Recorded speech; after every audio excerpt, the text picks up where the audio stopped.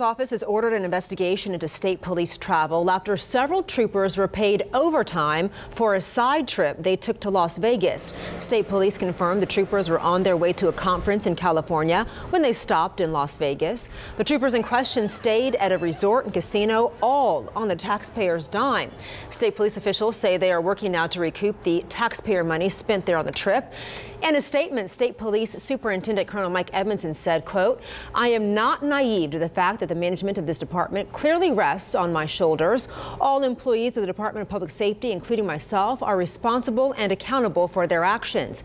The public can rest assured that I am making necessary changes and providing clear direction to those under my command.